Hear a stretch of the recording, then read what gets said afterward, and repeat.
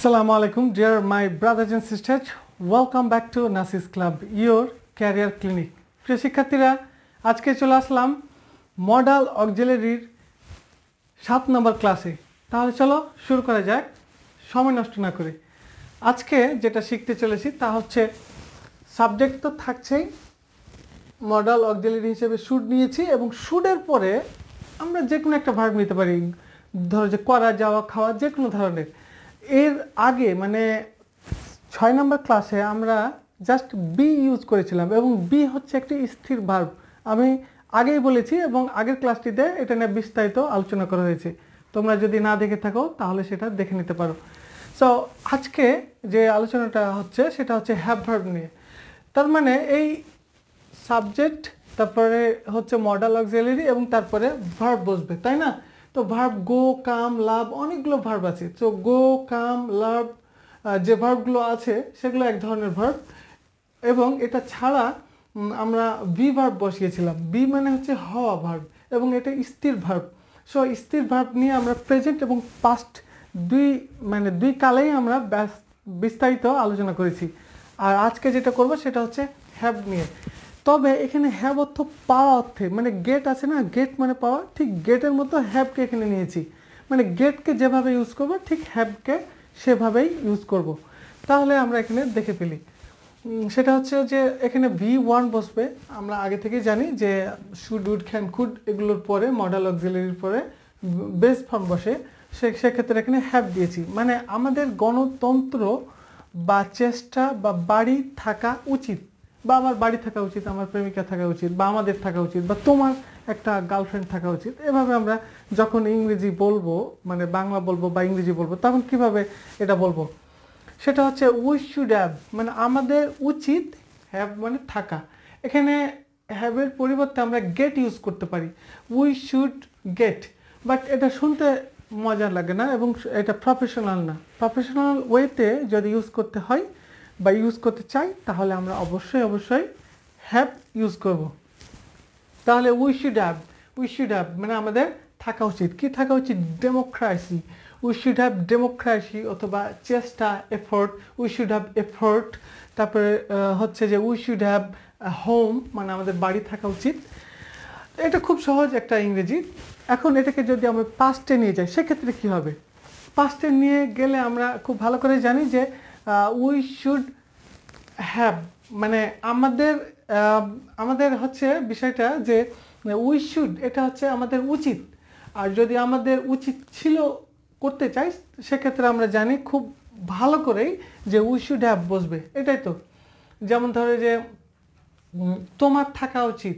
ধরো যে, তোমার উচিত, ইংলিশ কি ইউ শুড আমার উচিত আই শুড তার উচিত হি শুড বা শি শুড তাদের উচিত দেই শুড কিন্তু এগুলোকে যদি ছিল করতে যাই যে তোমার উচিত ছিল, আমার উচিত ছিল, তাদের উচিত ছিল, সেক্ষেত্রে হ্যাভ যোগ হবে। You should have I should have they should have এগুলো আমাদের ব্যবহার করতে হবে। মানে শুডের পরে অ্যাব ইউজ করা লাগবে।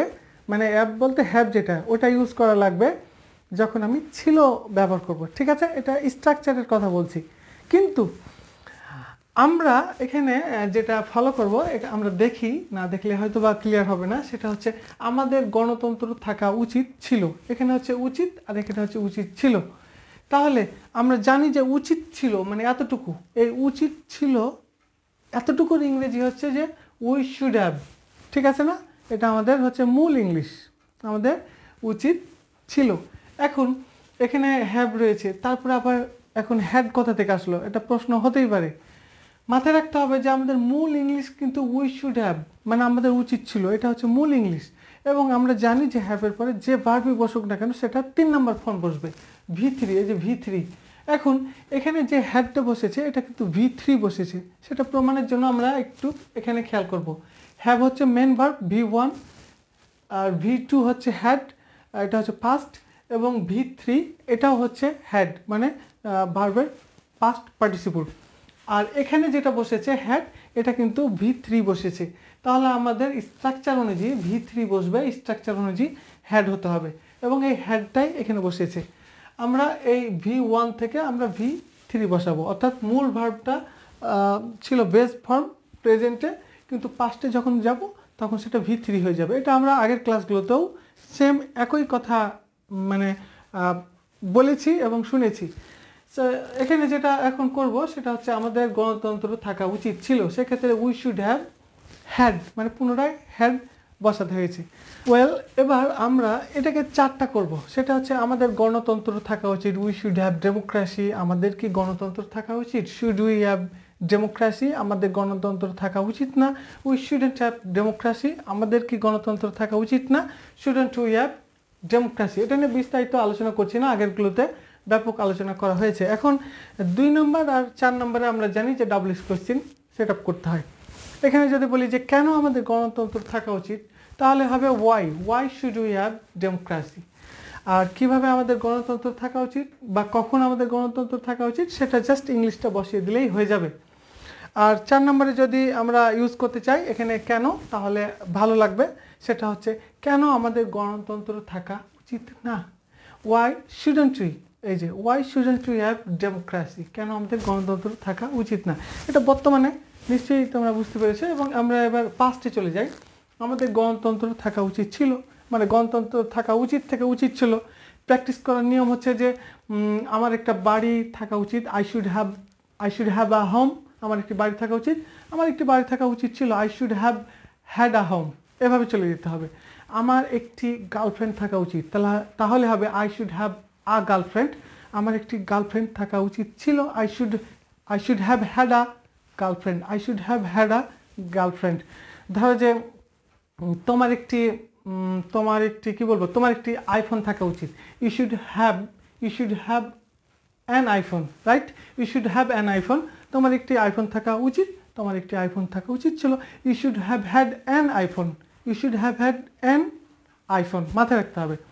ধরো যে আমাদের স্বাধীনতা থাকা উচিত। We should have independence right আমাদের স্বাধীনতা থাকা উচিত। আমাদের স্বাধীনতা থাকা উচিত ছিল we should have had independence নিশ্চয়ই তোমরা বুঝতে পেরেছ we should have had independence এবার আরও যদি প্র্যাকটিস করতে চাই, ধরো যে তোমার, ধরো যে তোমার একটি ফোন আছে থাকা উচিত। You should have a phone তোমার একটি ফোন থাকা উচিত ছিল you should have had a phone যাই হোক এভাবে প্র্যাকটিসের উপর প্র্যাকটিস করতেই থাকতে হবে, তাহলে প্র্যাকটিস হয়ে যাবে। অর্থাৎ প্রেজেন্ট থেকে পাস্ট প্রেজেন্ট থেকে পাস্ট অ্যাফার্মেটিভ যখন প্রেজেন্টে প্রেজেন্ট যখন অ্যাফার্মেটিভ করব পাস্টের অ্যাফার্মেটিভে চলে যাব। ঠিক ইন্টারেটিভ যখন আমি শিখব, ধর যে প্রেজেন্টের ইন্টারেটিভ করছি, তোমাকে জিজ্ঞেস করছি, তোমার কি একটা তোমার কি একটা ধরো যে বউ থাকা উচিত?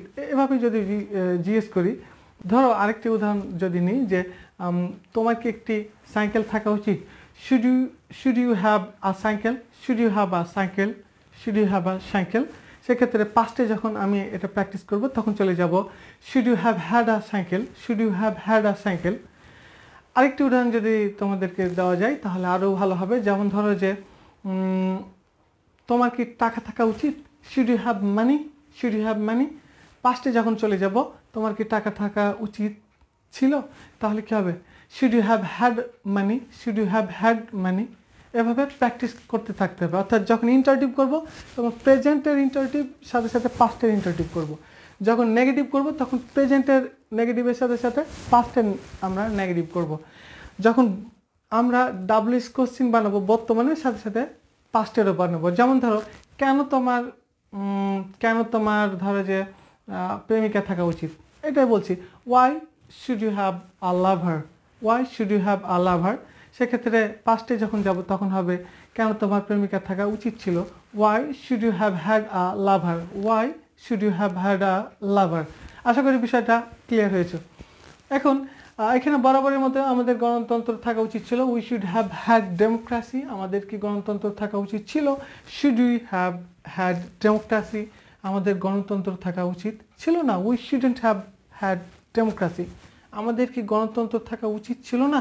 Shouldn't we have had democracy প্রিয় শিক্ষার্থীরা, এই ক্লাসটি এখানে শেষ করতে হচ্ছে। ভালো থাকবে, সুস্থ থাকবে। Be blessed See soon next time thank you very much for watching this class আসসালামু আলাইকুম.